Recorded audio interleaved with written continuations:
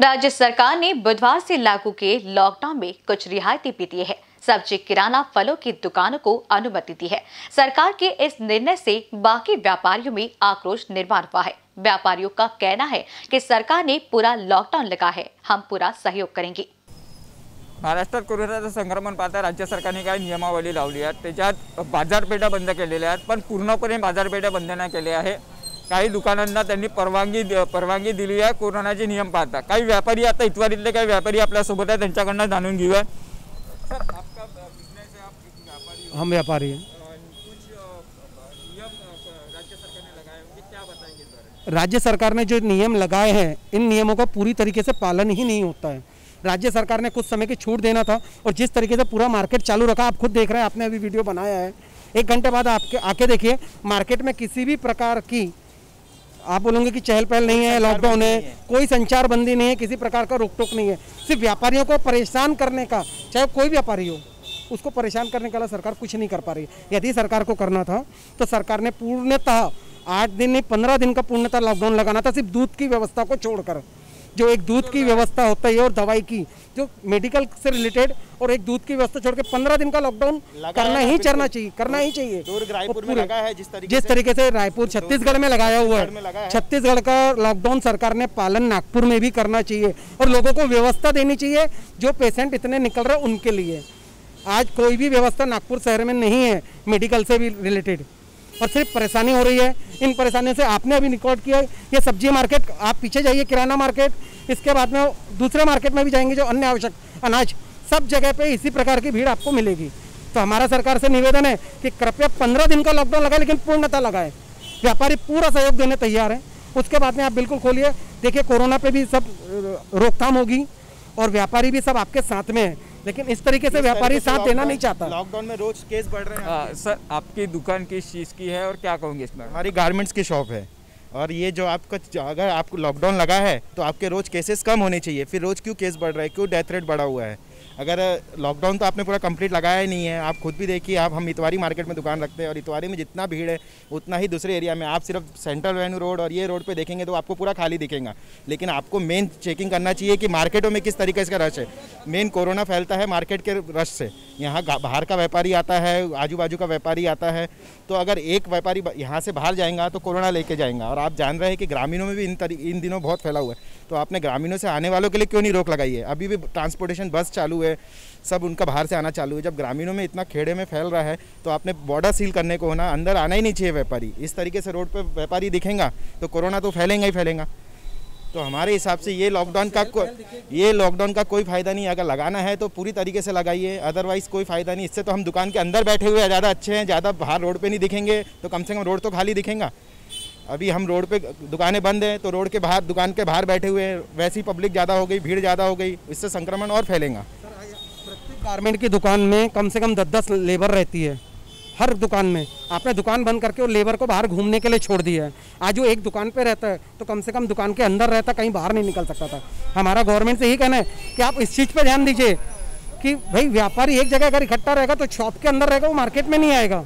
और आपने ये मार्केट बंद करके पूरे लेबर को, जितनी लेबर कास्ट होती है, वो सब बाहर घूम रही है। उसको कहीं रोक टोक नहीं है। इसलिए हम व्यापारी वर्ग का कहना है कि कृपया कर आप पंद्रह दिन का सख्त लॉकडाउन लगाए। नो किराना, नो अनाज ओनली सिर्फ़ दूध और मेडिकल ये हमारा निवेदन है। पूरी तरीके से बंद करो। सड़क को पूरी तरीके से बंद करो एनएमसी पुलिस वालों के हाथ में दे दो। देखो, अपने आप फ़र्क पड़ता है। इस तरीके से सुनो, हर आदमी घर के बाहर निकल रहा है। कितने को रोकोगे? गलियों से निकलता है। कितनी देर आदमी घर में रहेगा? कितनी देर रहेगा आप? दो चार छः घंटे?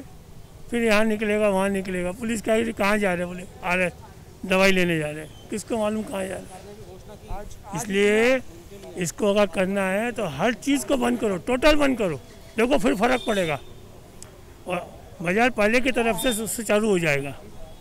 इस तरीके से क्या होगा? जिस दिन खुलेगा, आठ दिन बाद खुलेगा, दस दिन बाद खुलेगा, सारी पब्लिक एक साथ बाहर निकलेगी। फिर देखो छः हज़ार, आठ हज़ार, दस हज़ार होंगे, फिर क्या करोगे? फिर लॉकडाउन लगाओगे। आम व्यापारी का मरण नहीं। इन सब के लिए या तो उसको सुचारू रूप से पूरा स्ट्रिक्टली बंद करो। नहीं तो पूरा नंग खोल दो साले को जिसको जो होना होगा। होगा लास्ट कर्फ्यू लगा था ना? इक्कीस मार्च को कि जहाँ पब्लिक दिखी और तोड़ो वो कर्फ्यू लगना चाहिए वैसा लॉकडाउन होना चाहिए।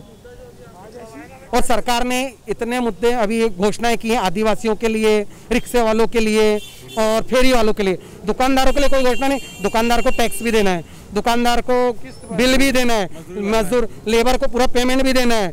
इसके अलावा स्कूल में बच्चे पढ़े उनकी फ़ीस भी देना है। इसके अलावा दुकान का रेंट भी देना है और अपने घर का खर्चा भी। दुकानदार कहाँ से निकालेगा? कोई व्यापारी कहाँ से निकालेगा? सरकार को इस मुद्दे पर भी ध्यान देना चाहिए? ज़्यादा बढ़ गई है कि आप आर कराने कहीं जाते हैं तो आज सरकारी में तीनों जगह तीन दिन चार दिन के लिए बंद थे। आप जाओ मैग्नम में प्राइवेट में जाओ तो आपको वहाँ पे खड़े रहने से डर लगता है। एक जन की आप रिपोर्ट लेने जाओगे जाँच कराने जाओगे ऐसा लगता है जो साथ में जा रहा है वो भी कोरोना लेके ना आ जाए। आपके घर में अगर कोई पॉजिटिव हुआ तो उससे पूछो क्या हालत ख़राब हो रही ये अपने को इंग्लैंड जैसा यूएस जैसा अपने को हालत ख़राब नहीं करना है। आज वहाँ पे इतनी अच्छी मेडिकल सिचुएशन है अपने यहाँ नहीं है। अपने यहाँ महामारी फैल गई तो आप उसको कंट्रोल नहीं कर सकते। बहुत ज़रूरी है। बहुत कहनी है कि अगर आपको लॉकडाउन लगाना है तो पूर्ण रूप से लगाइए। इस तरीके से मत लगाइए। एक बार आप ही देखिए कि जिस तरीके से भीड़ चल रही है ऐसा लॉकडाउन का कोई फ़ायदा नहीं है। इसमें हम इसमें इसमें हम लोग ही डूब रहे हैं और कोई नहीं। अगर लॉकडाउन लगाइए कोई मना नहीं। हम हम 2020 में तीन तीन महीने घर में बैठे कभी मना नहीं किए क्योंकि बैठे पूर्ण रूप से एक जैसा लॉकडाउन था। लेकिन अभी जो लॉकडाउन चल रहा है, वो पता नहीं सरकार की क्या नीति है, क्या दिमाग में चल रहा है, किस तरीके से चला रहे हैं, ऐसा लॉकडाउन का कोई फ़ायदा नहीं है। जहाँ ठेले वाले अपना काम कर रहे हैं, दुकान वाले अपना काम कर रहे हैं, फल वाले अपना काम कर रहे हैं, सब्ज़ी वाले अपना काम कर रहे हैं, नहीं कर रहे हैं तो सिर्फ़ दुकानदार लोग, वो भी चुनिंदा, हर दुकानदार नहीं, चुनिंदा लोग काम नहीं कर रहे ऐसे लॉकडाउन का क्या फ़ायदा है? सब खर्चे सभी को लागू है, गरीब आदमी को भी लागू है तो बड़े आदमी को भी लागू है और मीडियम आदमी को भी लागू है। तो इसमें मरण सिर्फ़ मीडियम आदमी का ही क्यों हो रहा है? गरीब आदमी अपना खुश है, शिव भोजन थाली खा के, बड़ा आदमी वैसे ही खुश है सरकार को पैसे खिला के। तो हमारा बोलना है लॉकडाउन लगाना है तो पूर्ण रूप से लगाइए अदरवाइज़ मत लगाइए।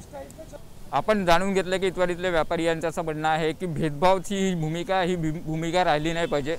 कारण जे अर्धे दुकानं सुरू आहे, अर्धे दुकानं बंद आहे, तसंच त्यासोबत एक मुद्दा व्यापाऱ्यांनी उभा केला आहे की जी काही फॅसिलिटी तुम्ही दिलेले आहे ॲटोवाल्यांसाठी आदिवासींसाठी किंवा गरीब जनतेसाठी दुकानदारांसाठी व्यापाऱ्यांसाठी काही योजना का बरं नाही आखली?